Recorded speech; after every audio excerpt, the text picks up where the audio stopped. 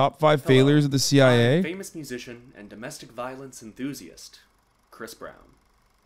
While I bear a passing resemblance to notorious alcoholic madman DJ Peach Cobbler, we simply cannot be the same person, because I wear earrings, which I won off a woman in the heat of battle, and I did not commit crimes against humanity in the Balkans. I've been contacted by the Central Intelligence Agency of America to speak to you, the American public, on the matter this? of this video, as researchers found that the American public trust celebrities. This is a terrible mistake. I will hurt you. I do not acknowledge that you are human. Due to the content contained within this video, it has been deemed unsuitable for general audiences. You should only watch this internet video if you meet the following criteria. 1. You are currently gainfully employed. 2. You I mean, top five si- failures of the CIA seem awesome. do not consume subversive literature. 3. You are over the age of 25 if you are male, and 21 if you are female. And 4. You would agree with the following statement Censorship is required to keep the public safe from dangerous ideas. If you meet these requirements, then you have been permitted to consume the following content. If you do not meet these requirements, then it is already too late. We would like to thank you for your time and patience, as this video contains delicate material which may upset, anger, or even radicalize the borderline subversive. Thank you.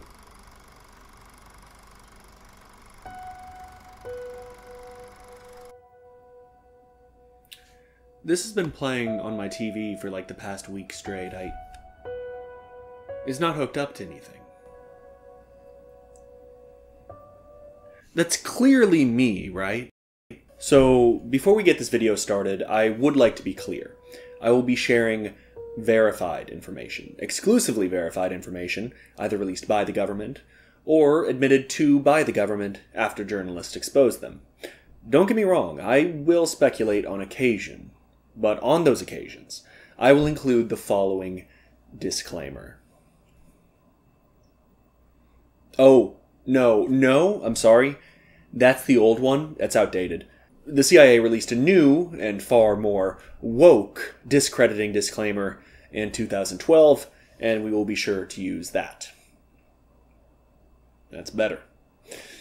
I mean, it, it could be worse, honestly. Uh, between the years 2001 to 2012, it, the disclaimer was just the word terrorist in bright flashing letters. From the Cuban Missile Crisis to the Iraq War, from the Bay of Pigs to the shores of Indonesia, the CIA is a Tila Tequila magnitude embarrassment to the United States of America. And today, we're going to dissect their top five most exceptional failures. What the fuck happened to the audio?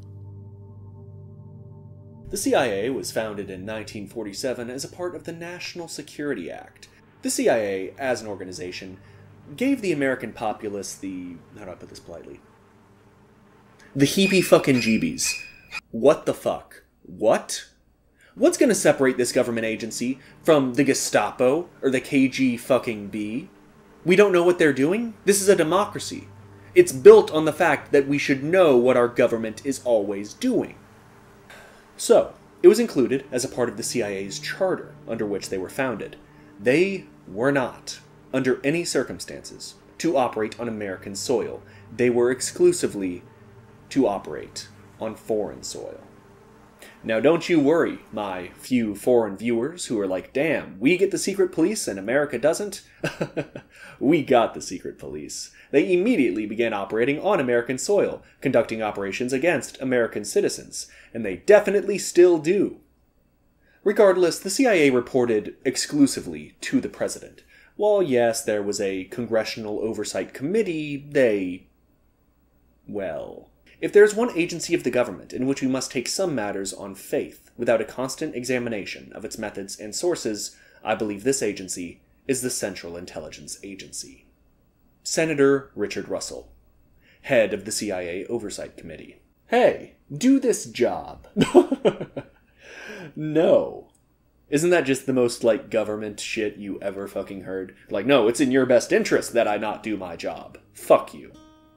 Regardless, the CIA regulated themselves and only reported to the president. Unfortunately, for whoever happened to be president at the time, the CIA just lied. Constantly. I mean, you gotta look like you're busy, right? The CIA told then President Dwight D. Eisenhower that the Soviet Union had hundreds of ballistic nuclear missiles pointed directly at our great nation. There was a massive missile gap between the US and the USSR in terms of payload, quantity, and just range of these missiles. This so called missile gap would then be used as ammunition by congressmen to feed the military industrial complex, leading Eisenhower to even coin the term, as he grew concerned with how dependent the United States economy was becoming on massacre machinery. So, hundreds of ICBMs. In the 1950s? How many did the Soviets really have pointed at us when the CIA told Ike about this missile gap? Yeah. Uh, three. There were three. Now, let's be fair. Let's be fair. Uh, ICBMs pointed at your nation are a lot like gerbils up your ass. In that three gerbils up your ass is still way too many fucking gerbils to be having up your ass. But the point remains there was no gap, and the CIA seemingly intentionally misinformed the most powerful man in the world.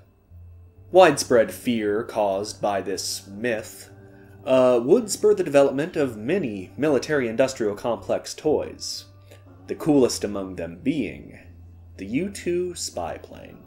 Which is incredibly fucking cool. It's basically a spaceship. It flies at super high altitudes. The pilots all look like astronauts, like they're wearing spacesuits. Uh, they get to pee in a bag, which is just sick as fuck. I hope they get to drink Tang. And it got shot down constantly and would cause international incidents because it turns out that flying above other countries is not legal. The U 2 did many, many flyovers of the communist nations during the Cold War, uh, taking photos behind the Iron Curtain, and while the plane managed to disprove the existence of a missile gap, it it didn't really do anything else. They failed to ever establish a concrete image of life inside the USSR. But hey, you know what? Since when did knowing your enemy ever fucking matter? If the CIA had developed a bigger picture of life inside the Soviet Union, it would have learned that the Soviets were putting little money into the resources that truly made a nation strong. They were a weak enemy. The idea that the final battles of the Cold War would be economic instead of military was beyond their imagination. The missile gap was ignorant fear mongering, pure and simple. It obsessed Congress, terrified the American people, and had war profiteers' eyes pop out of their head which they would immediately, of course, follow that up, up by saying humana humana Uh, awooga. whatever. And it really obsessed this one, not one president, fucking, what's his name? Fuck. The, um, the sickly Irish sex addict. He Go ahead. he had a hard on for killing Castro, like the one that was actually terrible, but like everyone loves him for some reason. Uh, fuck me, what was that guy's? Oh, JFK, that guy. JFK loved, loved the taste of war profiteer cock, often lambasting Eisenhower for failing to close the missile gap, which did not fucking exist. The CIA of the 50s and 60s did not know anything. They did not know what life inside the Soviet Union was like. They could not give you an accurate measure of how many weapons they actually had. They knew nothing. They did not anticipate the Berlin Wall going up. They did not anticipate it going down. They did not anticipate Sputnik going way the fuck up. They knew nothing about their enemy. And we really didn't until after the wall came back down. The only thing the CIA was good at during the Cold War was justifying their own existence by scaring the American people with things that they made up. Oh, uh, by the way, did you know that the communists can turn people into robots by brainwashing them? Yeah, that one's gonna be higher on the list. Don't worry. But hey, come on. It was the 50s. Homosexuality hadn't even been invented yet. It was a primitive time. People were still having sex with women. So surely as the decades would go by, as technology would improve, as the CIA would mature as an agency, they would not continue to lie to the president and the American people on matters such as weapons of mass destruction. Saddam Hussein. What a monster. I mean, really. You'd have to be a monster to disagree with that. Used chemical weapons on Kurdish civilians, uh, invaded Kuwait for no fucking reason, destroyed entire villages of Shiite Muslims, and of course, worst of all, he was installed as dictator by the CIA. But that's not even that's not even what this is. That's not even what this is. But really, the worst thing he did, you know, really makes those genocides pale in comparison, was, of course, selling oil in euros. In 1971, Richard Nixon decoupled the US dollar from the gold standard, leading to a collapse in the value of the dollar. In order to prevent the value of the US dollar from dropping further, Henry Kissinger, famous statesman and 12 time winner of the Rolling Stone magazine's Wait, They're Still Alive award, met with the King of Saudi Arabia with a proposal of what has come to be known as the petrodollar system. and a recipient of the uh, one of the few predictions that I got wrong about 2022 when I said Henry Kissinger will die in 2022. I was wrong, but I'm saying I'm making that prediction again. Henry Kissinger will finally pass away in 2023. which is still used by all OPEC countries today. The terms of this agreement dictate that all oil exports by OPEC nations be conducted in US dollars. This, in combination with the dollar status as the world's reserve currency, ensures a constant international demand for dollars, therefore providing stability to J-Pow's napkins with dead people scribbled on them. In exchange for Saudi Arabia convincing its peers of adopting this system, the US promised military security for the nation, which it has upheld to this day. The US dollars paid for Saudi oil usually is then used to buy infrastructure or tech from US companies, ensuring a constant circulation. Iraq broke the terms of this agreement, as Saddam Hussein was quite butthurt about a coalition of Western nations, led by the US, stopping his invasion of Kuwait by beating the ever-loving shit out of him back in the 90s. So, Hussein began exporting oil in euros in the early 2000s, which... That, that didn't happen. We got off topic. None of that is at all relevant to the United States invasion of Iraq in the early 2000s. No, no, that's a conspiracy theory called petrodollar warfare, and we do not do conspiracy theories here unless they're fun. No, no, no, no, no, no. All that was true. All that, the, the, the things the madman said, those things are true. However, the thing that is implied by all of those true things is not true. It's pretty simple when you put it like that, right? We did not invade Iraq for reasons that make sense. It is that simple. If you think we invaded Iraq for reasons that made sense, frankly, you're crazy, and I don't trust you. He's going to talk about our our invention of a new a major little- player. A little wacky there. a practice that we I assume a practice that we still continue to this day whenever we like decide that we want to uh you know I mean we we not only invent new major players within terror cells but we also actively uh reignite the terror cells like ISIS K and shit you know what I mean? Whenever we want to Following the kicking of Saddam's ass in the 90s, the United Nations sent weapons inspectors to disassemble all of Saddam's chemical and biological weapons, which he absolutely had at the time. While the UN was adamant that Iraq had no CBRN, chemical, oh my god he's playing Max Payne what the fuck biological, radiological, and nuclear weapons at the time, nor the ability to manufacture them, the CIA disagreed. In October of 2002, I was five. In other noteworthy news of that year, the CIA published their report, Iraq's Weapons of Mass Destruction Programs, which emphatically stated that Iraq has continued its weapons of mass destruction programs in defiance of UN resolutions and restrictions. Baghdad has chemical and biological weapons, as well as missiles with ranges in excess of UN restrictions. If left unchecked, it will probably have a nuclear weapon during this decade. Now, you may have noticed, none of that is true. Absolutely none of it. Zero evidence of that was ever found, even though we invaded and occupied the nation for over a decade. Uh, no chemical, biological, nuclear, whatever. None of that was ever found. None of it was ever used.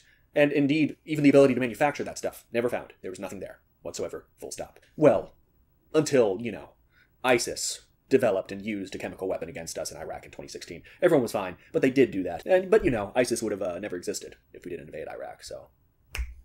Sick. So, one of two things happened.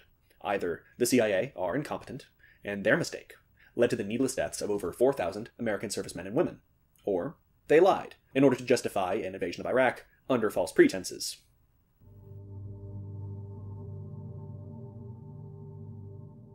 Let's dial it back. Let's calm down. Less conspiracy, more fun. You know, there's no need for this.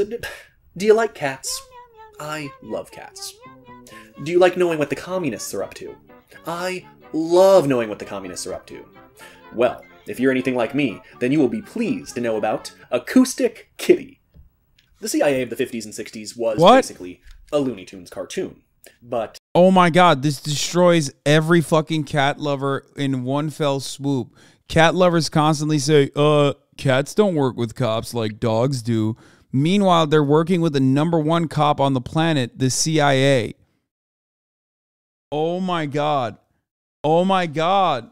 Oh my God. I got to pee. I'll be back in a second. I mean, they tried, you know, they wanted to build him in a lab, you know, just the, the thickest fucking rabbit you've ever seen. Uh, as a consequence of their insanity, they at one point conceived of the idea of putting a microphone and a radio transmitter inside of a cat surgically, so they can eavesdrop on people. They did, and it worked. It cost $20 million to do it. it. It better fucking work. After internal testing verified that indeed the cat could record people talking, uh, they decided to test it in the field. They released it in a public park so it could eavesdrop on two men sitting on a nearby bench. And this would prove to be the most difficult mission of this young cat's career.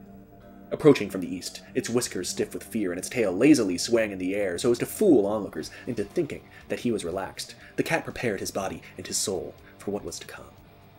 It was at this point, presumably, that the two CIA agents in a van nearby labeled, We didn't kill Epstein, but we're gonna kill Maxwell, looked at each other and shared admiration and awe at this agent at the top of his game.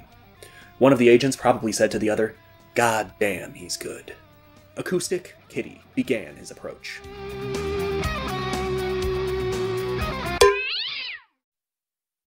Acoustic Kitty was two weeks from retirement. The CIA abandoned the program shortly afterwards, uh, deciding that it would be difficult to train a cat to follow specific directions. Are they that fucking stupid? Do you think they're that fucking stupid? I'm genuinely asking.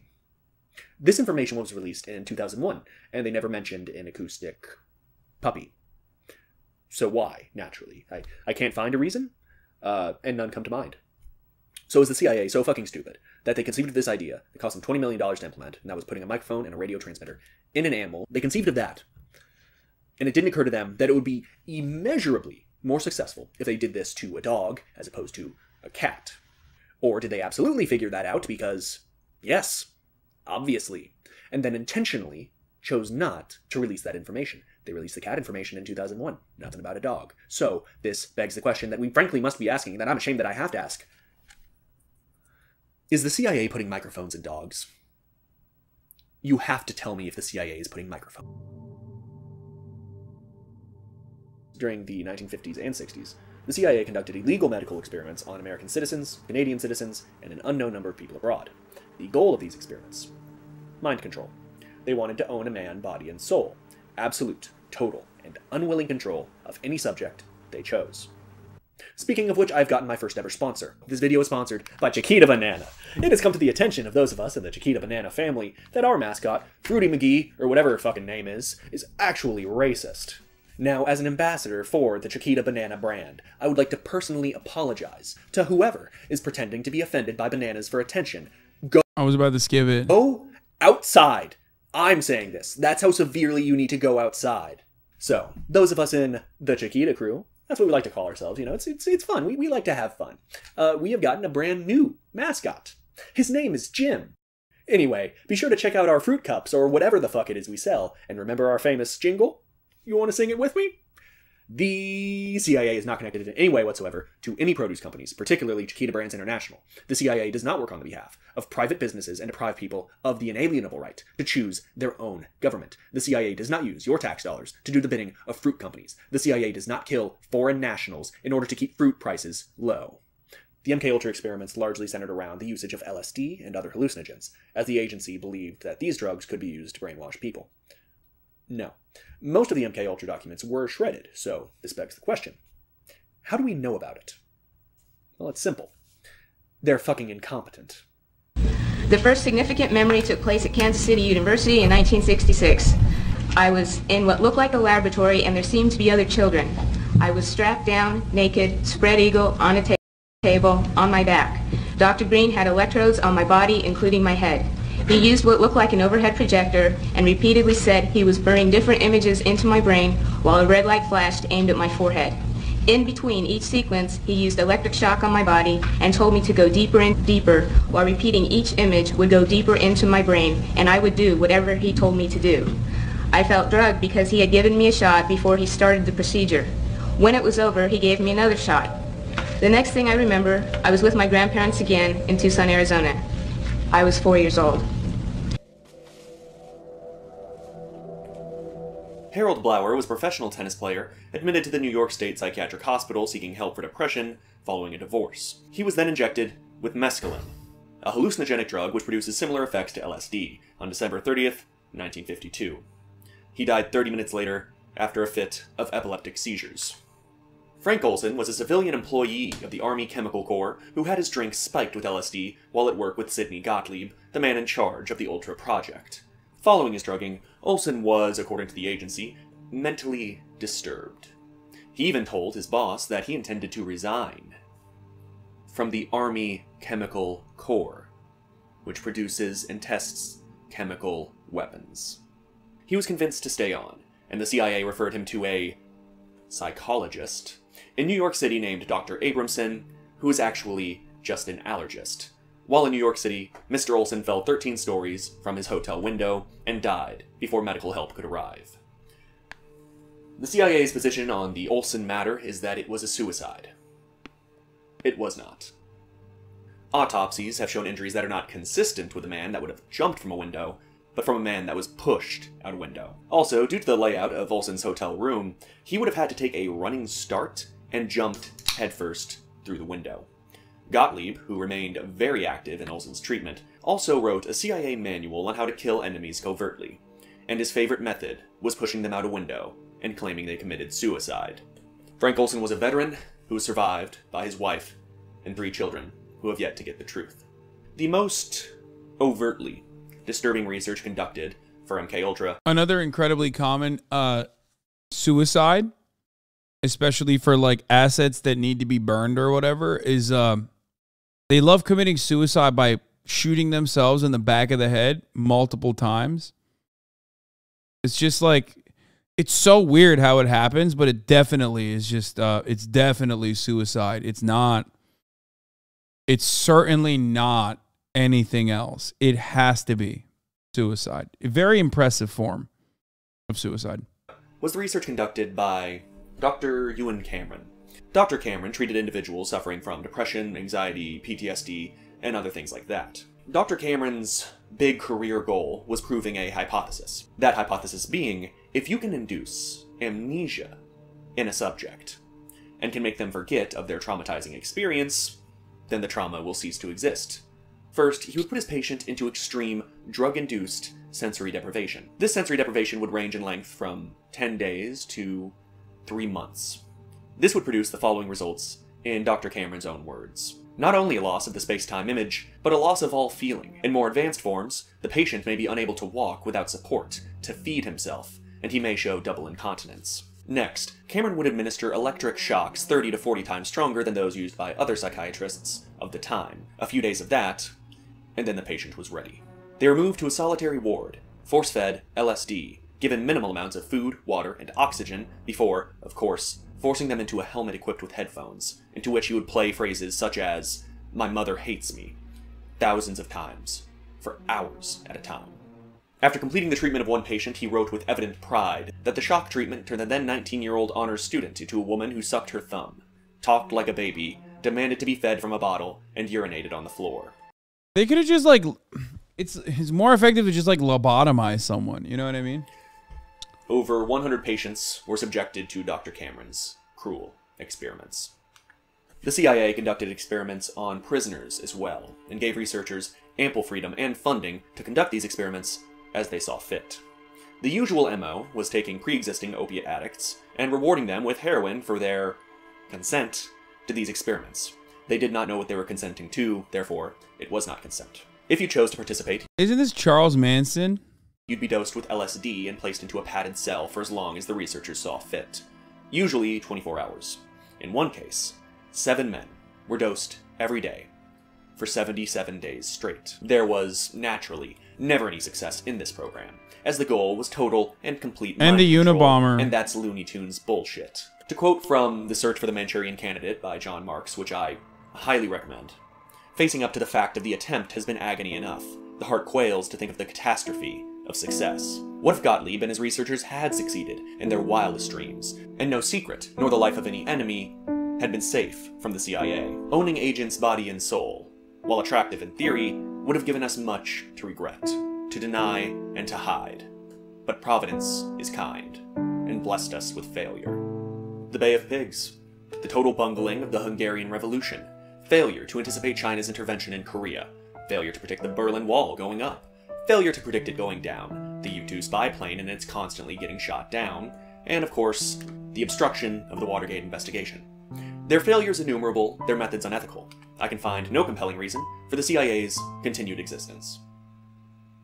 They don't get results, and they discredit the United States of America. It's a natural decision, purely logic based. And they're definitely putting microphones in dogs. American servicemen dead in Korea and Iraq, that's on them. That is their failure, and it is their legacy. I have a great and solemn duty today, as I must assemble a top five list, a duty I do not take lightly. Therefore, I've elected to make the CIA's number one greatest failure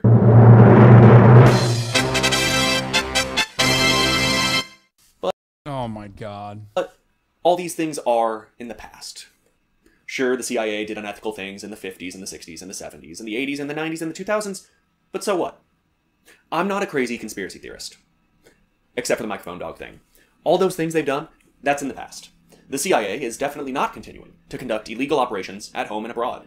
So we should continue to fund and empower them. That is not unethical. That is not stupid. They deserve our money and our faith. Yes, everything I've discussed is horrible.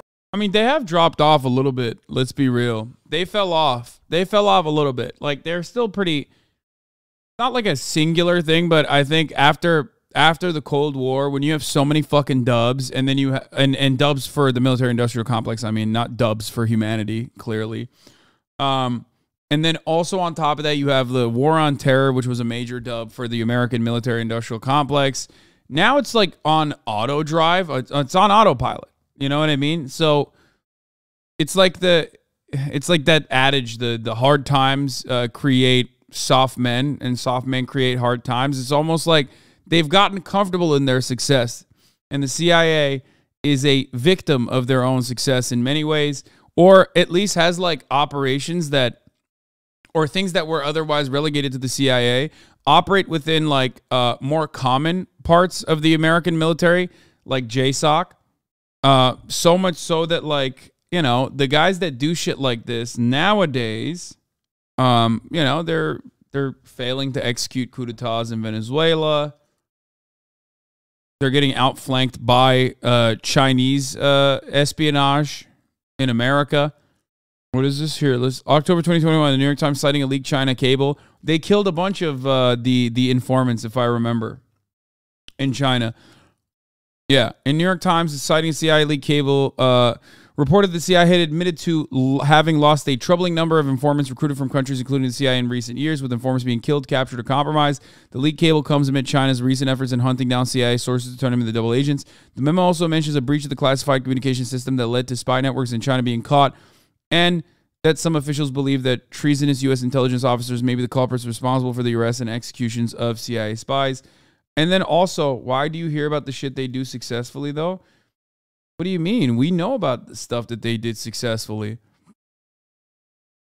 It's not that long ago that, you know, post 9 11 Iraq invasion happened. That was a success. Giuseppe Carbonaro, thank you for the 50 get the subs. Uh, I'm talking about, here's the thing. Uh, nowadays, the shit that you hear about the CIA is like, oh man, fucking Havana syndrome if they were more successful, and I like I said, part of it is a they're victim of their own success. If they were fucking more successful, like Cuba wouldn't be in operation. Uh, Venezuela would not be still under the control of uh, the Maduro government. You know what I mean? Like there are Latin American countries where they have been wildly successful in it for a very long time. They called every step of Russia's invasion before it happened yeah, I mean, again, that's not really that's not really that big of a dub. Russia is not the big guy in the room. Is not the big enemy in the room anymore. From the State Department's perspective, the big enemy in the room would be China. You know, um, Russia invaded Ukraine and did something that was unimaginably stupid, and that definitely plays a role in the military-industrial complex's endless. Uh, what do you call it? Uh, endless fucking. I mean, that was more of a that was more of Putin's uh, hand wrapped gift to the American military industrial complex, to be fair.